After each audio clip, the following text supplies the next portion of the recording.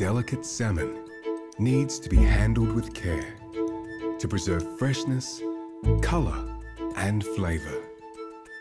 Combine the right degree of chill, a gentle steam and precise induction. Chill at 3 degrees to preserve perfect freshness.